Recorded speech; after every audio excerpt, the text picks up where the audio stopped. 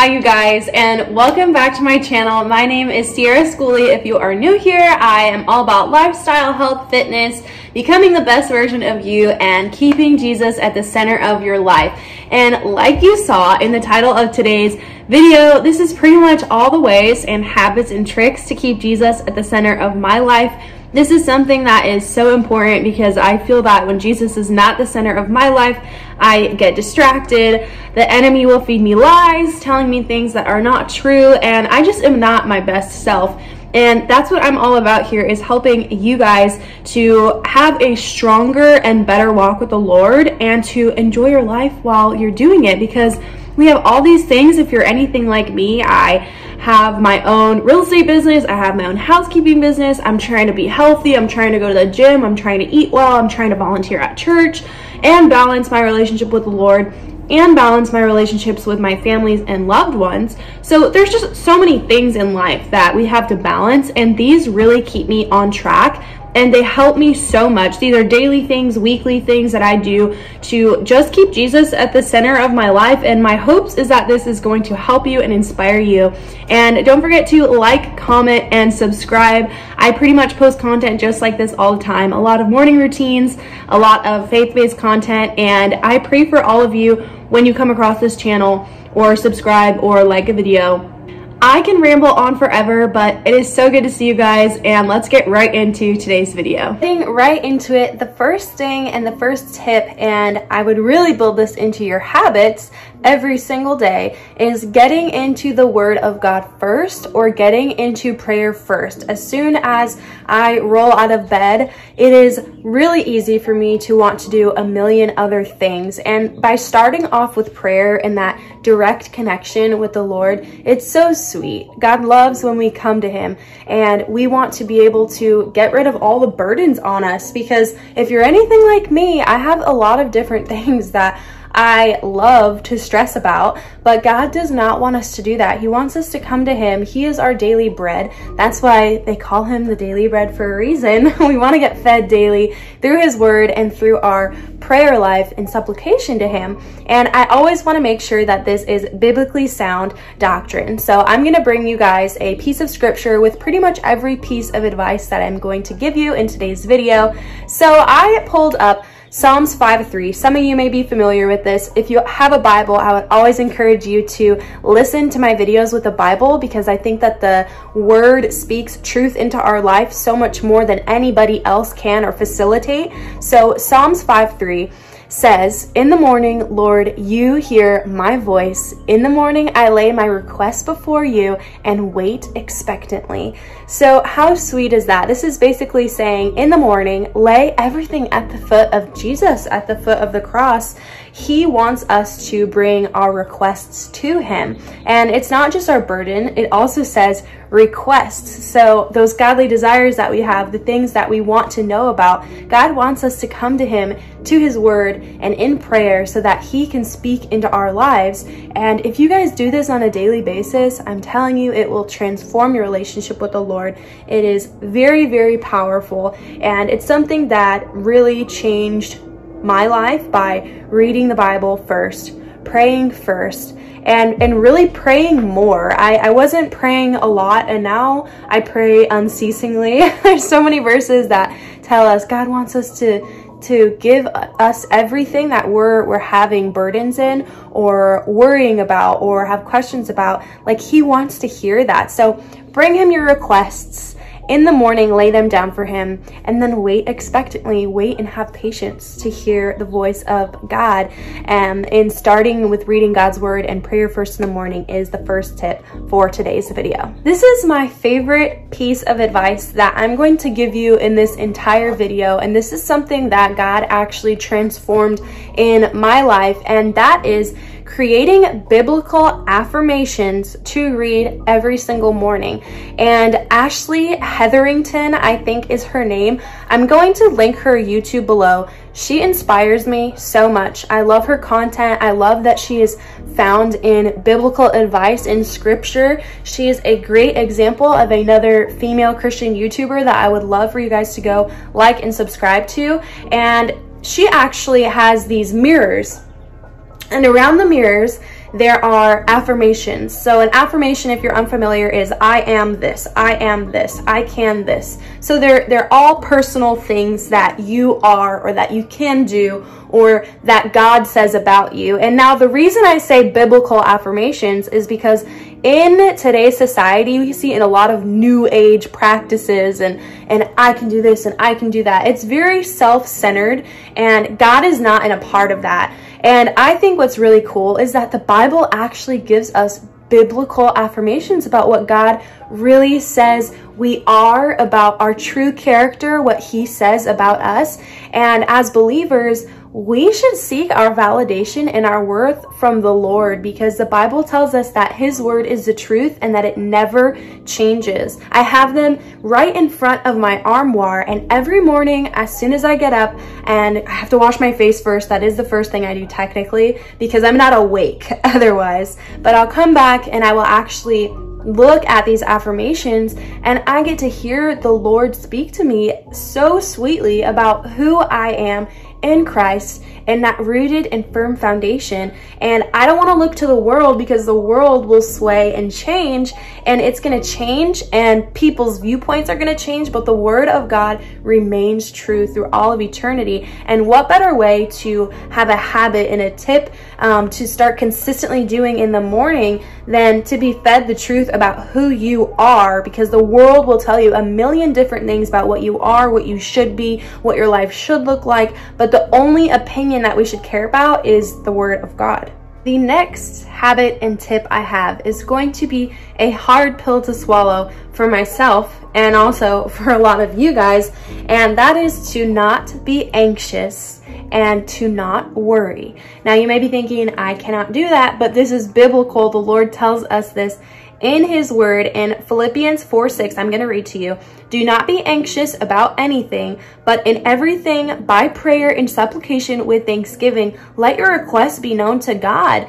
And then my breakdown of this is that, and I'm reading my notes, so if you see me looking down, I just want to make sure I give you guys good fruitful information that the Lord has spoken into my life and I've prayed over. So it says pray nonstop when good, bad, confusing things happen. This is a habit you must practice in a daily basis to start having better communication with the Lord on a 24 7 everyday basis. So this is so powerful. And I've already mentioned this before in the first point that that connection to the Lord is so crucial. And I'm not even kidding. He will start speaking to you. If you're wondering like, well, how do I hear the word of God? How do I hear the voice of God?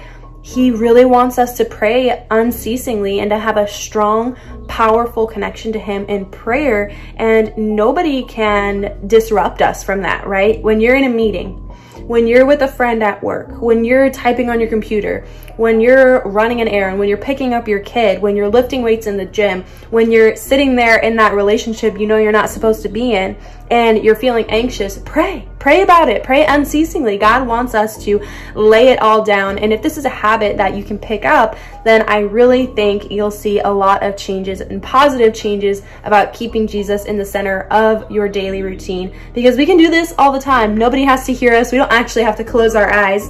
Sometimes I'm driving and I'm talking out loud and I'm just driving my car. Me and my friends talk about this all the time. My my church friend Lindsay, she's a leader, she's a good friend, she's getting married this summer.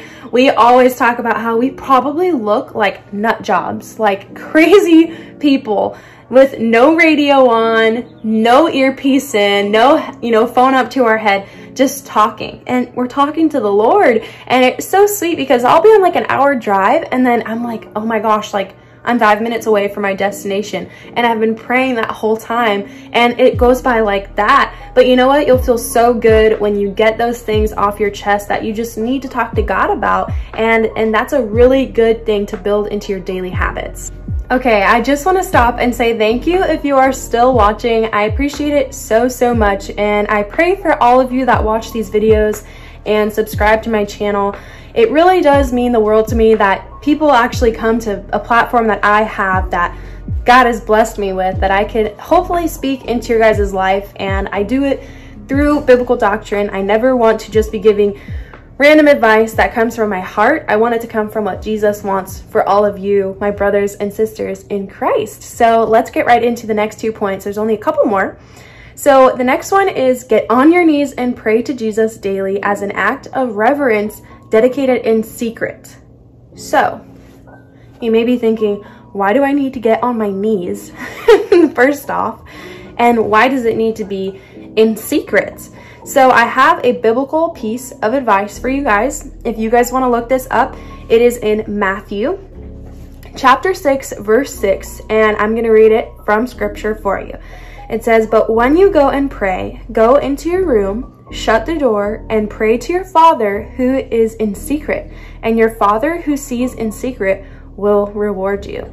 So, we've talked a lot about praying, and that's kind of a common theme in a lot of these thoughts that the Lord has really brought to my attention. And why in secret? Because God desires us to seek Him out without wanting us to wave a flag and say, Look at me, congratulations, I'm a Christian, I'm doing all the right things, right? There's something so, so, so, so, so, so special about when you have this time and you really are in secret. Nobody knows what you're doing, nobody knows what you're saying but God does, and God can hear you. And it even tells us in Matthew 6 6 at the very end there, and your Father who sees in secret will reward you. So God even tells us He's going to reward us, He's going to bless us for this moment, for this sweet reunion and this sweet meeting that we have with Him in private. So I'm going to give you an example of something that I do, and I'll give you an example that um, Ashley Hetherington, I believe is her last name, does. So I saw her doing this and she really did inspire me for a lot of the points today. So I would hope that you guys would go and check out her channel because she's so sound in biblical advice. Like everything she says is right on and I love it so much. But she actually has like a closet where you go in the closet and there's like all these prayer cards and like battle cards that she has with scripture and it's her private space. Like nobody else is in there. It's a small room. And I thought like, how sweet is that? And I didn't really understand what this verse meant until I started doing this myself and it just deepened my relationship with Christ and I feel like it's it's like hard sometimes for us to see like oh well you know I feel like my relationship isn't growing in Christ but it's just like any other relationship you guys if you're dating someone you want to continually do like things to, you know, impress them and and make them happy and make them smile and like you you try new things together, right?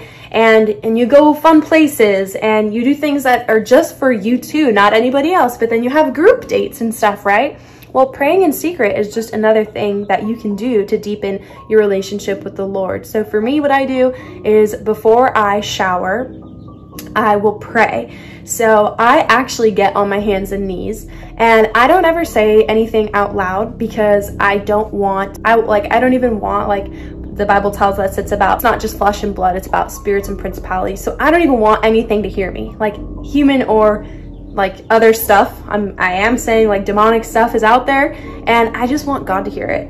And God is the only one that knows my thoughts. So I will get on my hands and knees and I will pray. And this act, like just, it breaks you down too. Like I, I there's been times where I'll pray and I just like start crying and I'm so emotional and I don't know why, but it's like God is taking things out of my heart and like revealing all these things to me. And it's so sweet. It's such a precious time. So praying in secrets is something I would highly encourage you to do and incorporate into a new habit or routine and hopefully if you can on a daily basis. Okay, so the next thing I'm gonna talk about is probably the most relatable and it is to block out your calendar for fellowship with other people in Christ. So fellowship with other Christians, fellowship with other like-minded people who love Jesus, who are reading the Bible every day, who are strong in their prayer life, who are wiser than you, and who are on a journey to continue to love Jesus just like you. And the biblical piece of advice and what I'll reference to is Thessalonians 5:11. And if you have your Bible, you can read it with me. It says, "Therefore, encourage one another and build one another up, just as you are doing." This is essential to grow in Christ. That was my little note there. And the reason I believe and what scripture tells us is we want to build each other up. So there may be something that you've experienced that you have really learned from the Lord in and you know you've you've been through it you've been through it and then your friend in Christ who loves Jesus who has also gone through different things in life they're going to speak truth into your life and they are going to be able to add to your walk and to your experience with loving Jesus more and learning and growing. And fellowship is really important because the enemy will do everything he can to tell us we don't have enough time to go to church. We don't have enough time to meet other young Christian people. We don't have enough time in the day to get in the word. We don't have enough it's all it's all this misconstruction of how much time do we have and blocking out your calendar is going to be really important because it's going to allow you to dedicate time to the Lord. Dedicate time to the Lord. God tells us that He wants the first fruit of our good harvest, but also the first fruit could be even from your time. Are you dedicating too much time to working and not dedicating any time to knowing other Christian people? Because there's been so many times where and, and this has happened to me recently where I have a good friend, her name is Lindsay. I'm going through something and I feel like I don't know what to do and I feel very alone and the enemy has made me feel very isolated. I feel like I don't know why this is happening. I'm struggling. And she spoke really sweet truths, and the Lord used her as a vessel in my life to get me through that season of difficulty and to, to speak truth into my life because of her faith and her fellowship with the Lord. And that's so, so, so sweet. And I would highly encourage you, block out your Wednesday night to go to midweek, block out your Sunday to go to church, block out your whatever your young adults program time is, go. And obviously I'm not telling you to drop work for this, but there's blackout dates on like Disneyland calendars, right? You need to black out dates in your week so that you can have time with Jesus and other Christians. And um, if you want to know that verse again, it was Thessalonians Therefore, encourage one another and build one another up, just as you are doing. So we need to continue to not only build ourselves, but one another. And you may have the ability to pray for people. You may have the ability to speak prophetic words into people's lives. Like these are gifts that we don't want to neglect and we can get built up and learn more about these gifts in fellowship with Christ. So that is very, very, very important. And I would highly encourage you to block out your calendar to dedicate time for growing not only in your own walk with the Lord, but in your walk with others because we're called to unity and to be light, and that is what God wants for us and from us. Okay, you guys, holy crapola. That was, I feel like that was a long video. I don't know why. I've been sitting here forever. I actually got up to go to the bathroom like in between these takes and my foot was so asleep that I almost fell on the ground. I couldn't feel up to like mid shin. So I'm going to be getting up and wrapping up this video. And that was what God put on my heart to share with all of you. And if you guys need any prayer requests, the comments are always open. And don't forget to subscribe because I'm super excited to see the Lord bless this. And I pray that he blesses this because my intention is to share the gospel truth that Jesus, he died on the cross for sinners like me and sinners like you. And we're sinners and better sinners and everyone. Like God did not exclude, you know, the blood on the cross to only redeem some. It redeems everyone. All the hurt, all the pain, all the things that you've gone through that maybe nobody even knows about. He wants to make that right. He wants to soften your heart. He wants to have a personal relationship with you because he loves you so, so, so much. He knows what you're going through. He knows what you're suffering with and he wants to comfort you through all of it. And I would hope that this channel would give you the tools and resources to learn how to have a, a Christian walk and a relationship with Jesus. And really, if you have not accepted Jesus yet, the only thing you have to do is admit your sins to the Lord. That's between you and the Lord, nobody else. Jesus needs to know that, not the five people around you that you're with. Um, and then you need to ask for forgiveness. Say, Lord, I am sorry that I've sinned against you, that I have rebelled against you, but I believe that you did die on the cross for me, and I am turning away. I'm turning away from the sinful life that I have lived and all the things that have separated me from you and I'm asking for forgiveness and I believe that you died on the cross for me and I accept you into my heart and I love you, Jesus. I, I want your salvation. I want your redemption. I want a relationship with you. And guys, that's as simple as it. That's all you have to do. That's all you have to pray. That's between you and Jesus and no one else. And I would hope that you guys would find hope through this channel and the ability to grow your relationship with Jesus in so many different ways. And I love you all so, so, so much. And I'm praying for you. I'm praying for you daily. And I hope that you enjoyed this video and I will see you in the next one. Bye.